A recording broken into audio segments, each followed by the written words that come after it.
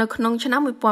1999នៅពេលដែល Boris Yeltsin បានចាក់ចេញពីតំណែងប្រធានាធិបតីគាត់បានប្រគល់អំណាចទៅឲ្យលោក Vladimir Putin គណៈរុស្ស៊ីជាប្រទេសកំពុងទន់ខ្សោយខ្លាំងប្រព័ន្ធសេរីប្រជាធិបតេយ្យបែបបច្ឆិមប្រទេសដែលប្រជាជនស្រឡាញ់យ៉ាងខ្លាំងផុសឡើងនៅអឺរ៉ុបខាងកើតគឺក្រោយពីសហភាពសូវៀតបានដួលរលំ រុស្ស៊ីចាប់ចុះឥទ្ធិពលដោយជួបវិបត្តិសេដ្ឋកិច្ចឆ្នាំ1998រីឯនៅលើឆាកអន្តរជាតិវិញរុស្ស៊ីគ្មានទម្ងន់ហើយក៏ត្រូវសហរដ្ឋអាមេរិកនិងសហភាពអឺរ៉ុបមាក់ងាយ គេនៅចាំបានថាក្រោយការរលត់រលាយទៅនៃសង្គ្រាមត្រជាក់និងការដួលរលំនៃសហភាពសូវៀតក្នុងឆ្នាំ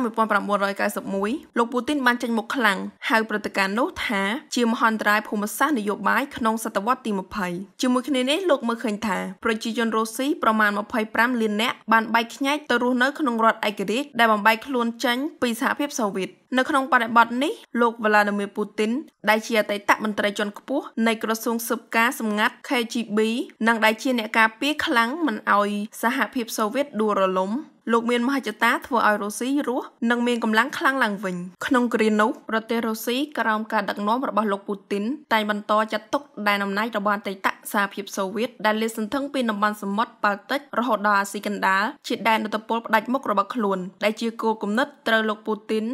សើរើឡើងវិញដោយសម្រេចបង្កអរិភាពយ៉ាងខ្លាំងក្លាជាមួយប្រទេសក្នុងតំបន់នោះនិងពីសំណាក់ប្រចាំប្រទេសផងដែរឥឡូវនេះរុស្ស៊ីក្រោមការដឹកនាំរបស់លោកពូទីនកំពុងពង្រីកទឹកដីនិងអំណាចតាមរយៈការលើកទ័ពធ្វើសង្គ្រាមវាយកទឹកដីនៃប្រទេសអ៊ុយក្រែនដែលធ្លាប់ជារដ្ឋចំណុះសហភាពសូវៀតសង្គ្រាមរុស្ស៊ីឈ្លានពានអ៊ុយក្រែនឈានដល់ខែទី16ហើយដែលរុស្ស៊ីមិនទាន់មានព្រៀបឈ្នះសង្គ្រាមអ៊ុយក្រែនបានទេតែអ៊ុយក្រែនអាចទប់ខ្លួននឹងការវាយលុករបស់រុស្ស៊ីដោយសារជំនួយយោធារបស់ពួកប្រចាំប្រទេសតែធៀបពិតសហរដ្ឋអាមេរិកដែលជាមេខ្លោងធំជាងគេចេញមុខទប់ទល់ឥទ្ធិពលរុស្ស៊ីហើយជាមេធំជាងគេនៃអង្គការយោធា NATO បូកនឹងប្រទេសជាង20ទៀតត្រូវបានអ្នកសង្កេតការមើលឃើញថាកំពុងតែរួមកម្លាំងគ្នារុញរុស្ស៊ីតំណាងសហភាពសូវៀតឲ្យដួលរលំ គឺដូចការពីសម័យសហភាពសូវៀតទំនាក់ទំនងនឹងប្រវត្តិសាស្ត្រសម័យសហភាពសូវៀតក្រុម Sven Info សូមរំលឹកប្រវត្តិនៃភាពខ្លាំងរបស់សហភាពសូវៀតនិងការដួលរលំរបស់មហាអំណាចរដ្ឋកុម្មុយនីសមួយនេះដែលមានដូចតទៅបបផែតនៃប្រេស្ត្រយកានាំឲ្យសហភាពសូវៀតដួលរលំពិភពលោកបញ្ចប់សង្គ្រាមត្រជាក់ អស់រយៈពេល3ទសវត្សរ៍មកហើយដែលពិភពលោកបាត់បង់សហភាពសង្គមនិយមដ៏ធំបំផុតមួយលោកគូបាឆៅប្រធានាធិបតីចុងក្រោយបង្អស់នៃសហភាពសូវៀតក៏នឹកស្មានពំដល់ដែរថាក្រោយឡើងកាន់តំណែងភ្លាមប្រតិបត្តិការកំណែតម្រង់ប្រេស្ត្រយកាដោយមិនបង្អង់បាយជាជំរុញឲ្យកើតមានបដិវត្តសរសៃឡើងពេញទ្វីបអឺរ៉ុបខាងកើតនៅឆ្នាំ1989ហើយជាដើមចមដែលធ្វើឲ្យសហភាពនៃសាធារណរដ្ឋសង្គមនិយមសូវៀតរបូតអស់15រដ្ឋនិងប្រកាសខ្លួនជាសាធារណរដ្ឋរុស្ស៊ីដែលបើកឲ្យមានការបោះឆ្នោតជ្រើសរើសប្រធានាធិបតីសមាជិកសភាដោយឆន្ទៈប្រជាជនផ្ទាល់ក្រោមរដ្ឋធម្មនុញ្ញថ្មីដែលបើកឲ្យមានកម្លាំងនយោបាយចម្រុះពហុបកប្រកួតប្រជែងគ្នា ការដួលរលំជាស្ថាពររបស់សហភាពសូវៀតធ្វើឲ្យពិភពលោកយល់ឃើញពេលនោះហើយថាសង្គ្រាមត្រជាក់ក៏ត្រូវបានបញ្ចប់យ៉ាងច្បាស់លាស់និងមានន័យថាមនោគមវិជ្ជាកុម្មុយនីសនិយមលែងត្រូវបានគ្រប់គ្រងនៅអឺរ៉ុបរួចប្រទេសមួយចំនួនក៏បំបែកខ្លួនចេញពីសន្ធិសញ្ញាវ៉ាសូវីចូលទៅអង្គការមហាអំណាចយោធា NATO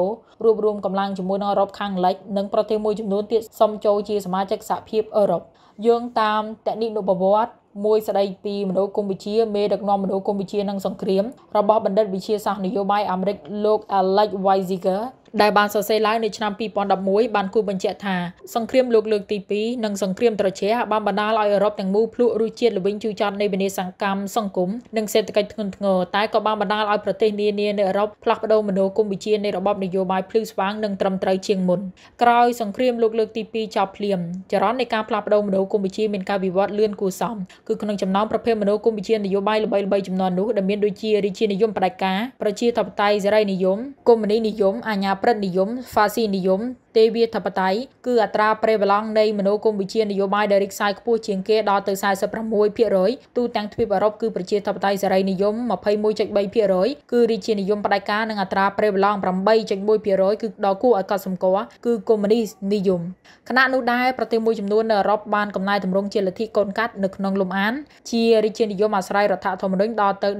17.7%ទន្ទឹមនឹងបណ្ដាប្រទេសមួយចំនួនបានបំលែងមនោគមវិជ្ជានយោបាយរបស់ខ្លួនទៅជាអាញាប្រិរិតនិយមបែបស្រទន់ដែលជាសារធាតុបញ្ចូលនៃប្រជាធិបតេយ្យសេរីនិងយោធាបដិការដល់ទៅ4.1%ទូទាំងអឺរ៉ុបខណៈហ្វាស៊ីនិយមរបស់អាល្លឺម៉ង់ហ៊ីតលែរនិងអ៊ីតាលីមូសូលីនី ដែលប្រកាន់គោលនយោបាយអនាម័យពូជសាសន៍ប្រឆាំងនឹងអរិភាពបរទេសនិងជនជាតិភាគតិចរីកសាយបានតែ1.3%អ្វីដែលគួរឲ្យកត់សម្គាល់តួលេខទាំងនោះបានត្រឹមឆ្លុះបញ្ចាំងពីជ័យជំនះបណ្ដោះអាសន្ននៃមនោគមវិជ្ជានយោបាយសកលតែប៉ុណ្ណោះព្រោះរដ្ឋដែលជាម្ចាស់ជ័យជំនះសង្គ្រាមលោកលើកទី2នឹងត្រូវបានកោតក្រែងក្នុងនាមជាមហាអំណាចផុតលេគឺក្រុមសម្ព័ន្ធមិត្តអឺរ៉ុបរួមមានបារាំងអង់គ្លេសនិងសហរដ្ឋអាមេរិកបានសហការគ្នាពង្រីកមនោគមវិជ្ជាប្រជាធិបតេយ្យសេរីនិយមបានកម្រិត46%ហើយបើធៀបជាមួយនឹងសហភាពសូវៀតដែលធ្លាប់ត្រូវបានក្រុមសម្ព័ន្ធមិត្តមិនឲ្យតម្លៃជាមហាអំណាចតែអាចប្រើប្រាស់មនោគមវិជ្ជានយោបាយកុម្មុយនីសនិយមសម្រេចបានដល់ទៅជោគជ័យ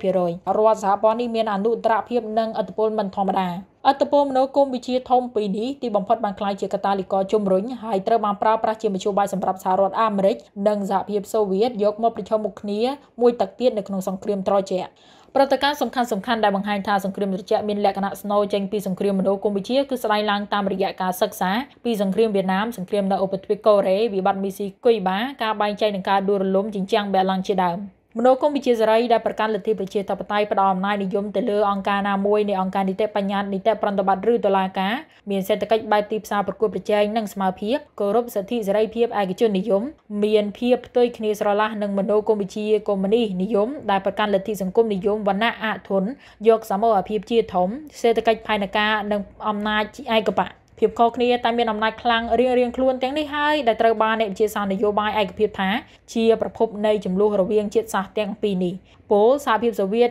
មានបំណងស្វែងរកការពង្រៀនមនោគមកុម្មុយនីសនៅក្នុងតំបន់អឺរ៉ុបនិងតំបន់ផ្សេងទៀតគណៈប្រធានាធិបតីទី33របស់សហរដ្ឋអាមេរិកលោក Truman មានគំនិតព្រួយផ្ដើមដ៏គួរឲ្យភ្ញាក់ផ្អើលមួយដែលមានឈ្មោះថាផែនការ Marshall អាមេរិកបានប្រកាសយ៉ាងចំហនិងផ្លូវការតែម្ដងថាផែនការ Marshall គឺបង្កើតឡើងនៅក្នុងគោលបំណងដើម្បីស្ដារមុខមាត់ទ្វីបអឺរ៉ុបឡើងវិញ ប៉ុន្តែផែនការនេះបានធ្វើឲ្យសហភាពសូវៀតត្រូវតែប្រឆាំងដោយយល់ច្បាស់ថាអាមេរិកបង្កើតផែនការនេះឡើងគឺមានគោលដៅធំបំផុតដើម្បីទប់ស្កាត់ការរីកសាយនៃលទ្ធិកុម្មុយនីសតាមបណ្ដាប្រទេសលោកខាងលិចមួយចំនួននិងទៅកាន់តំបន់នានានៃសកលលោកក្រោយពីចប់សង្គ្រាមលោកលើកទី2សហរដ្ឋអាមេរិកមើលឃើញសន្ទុះកុម្មុយនីសអាចនឹងចាប់មិនឈ្នះទេបើសិនជាសហភាពសូវៀតប្រើប្រាស់ទ្រឹស្ដីដូមីណូបានជោគជ័យទ្រឹស្ដីដូមីណូសំដៅថាបើសិនជាប្រទេសមួយនៅក្នុងតំបន់ទទួលរងនូវឥទ្ធិពលកុម្មុយនីសប្រទេសជុំវិញក៏ជាមិនផុតដែរ មកដល់ចំណុចនេះយើងអាចលើកយកព្រឹត្តិការណ៍សំខាន់នៃពិភពលោកអំឡុងឆ្នាំ1945ដល់ចុងសតវត្សទី20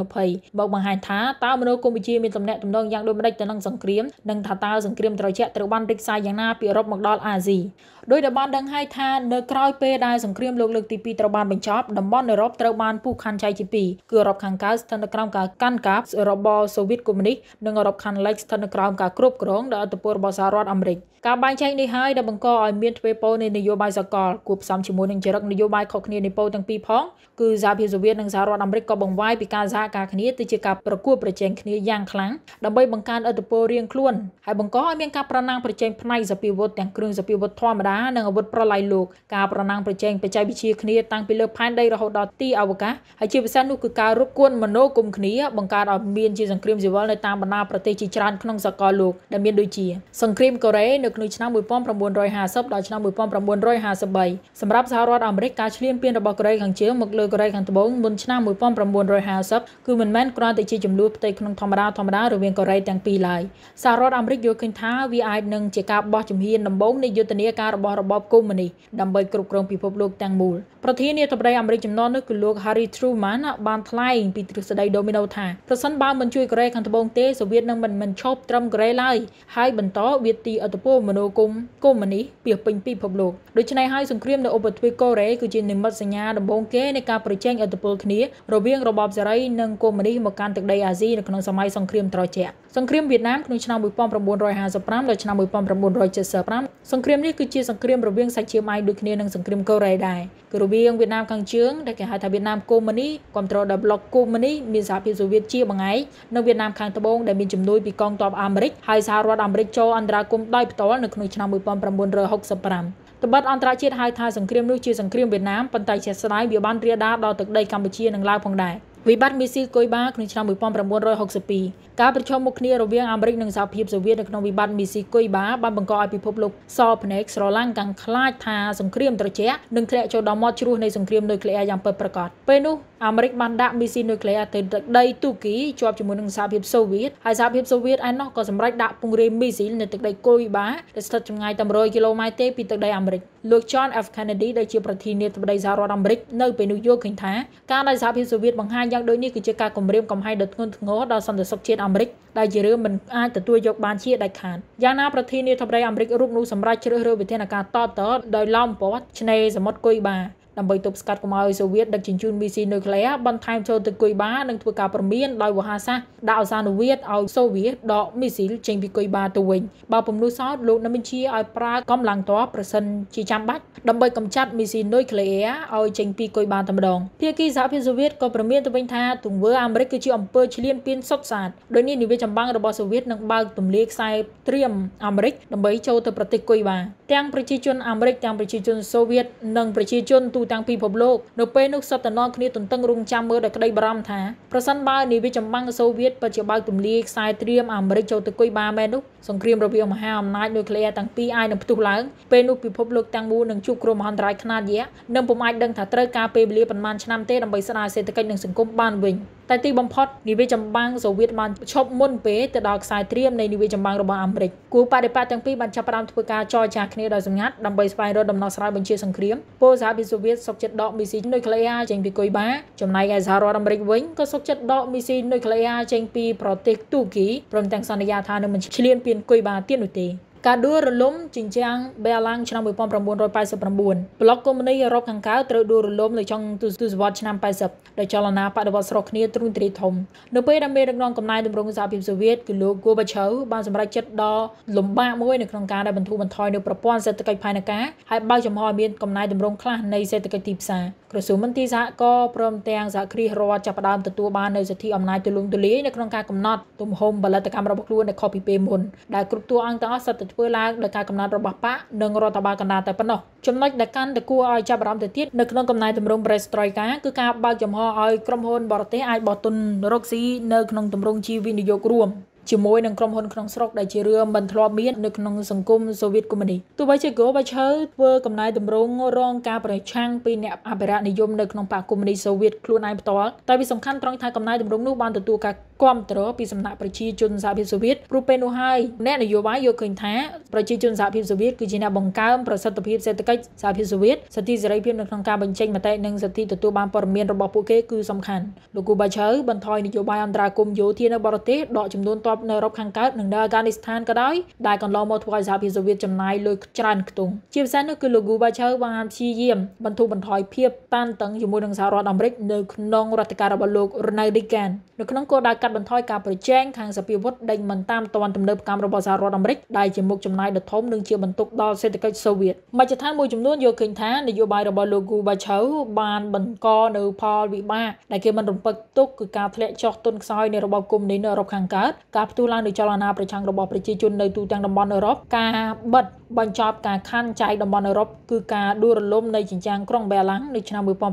1989ជាហេតុធ្វើឲ្យប្រទេសមួយចំនួនជាបន្តបន្ទាប់បដូរមកភ្លក់រសជាតិប្រជាធិបតេយ្យដែលជាមនោគមសេរីនិយមរបស់អាមេរិកទៅវិញធ្ងន់បំផុតនោះគឺលោកគូបាឆៅត្រូវបានប្រជាជនសហភាពសូវៀតដែលអភិរក្សនិយមបានហៅលោកថាជាមេដឹកនាំម្នាក់ដែលធ្វើឲ្យសហភាពសូវៀតបាត់បង់ឥទ្ធិពលយ៉ាងណាក៏ដោយក៏មានមជ្ឈដ្ឋានមួយចំនួនសម្ដែងការដឹងគុណចំពោះមេដឹកនាំសហភាពសូវៀតចុងក្រោយនេះគឺលោកគូបាឆៅដែលសុកចិត្តធ្វើអត្តឃាតសហភាពសូវៀតព្រោះបើពុំមានគំនិតផ្ដួចផ្ដើមរបស់លោកយ៉ាងដូចនេះទេមិនដឹងថាតើពិភពលោកនឹងជួបព្រឹត្តិការណ៍រន្ធត់អ្វីខ្លះតទៅទៀតនៅក្នុងអំឡុងពេលបន្តរស់ក្រោមឥទ្ធិពលសង្គ្រាមឥណ្ឌូកម្ពុជារបស់ប្រទេសមហាអំណាចនុយក្លេអ៊ែរទាំងពីរនេះ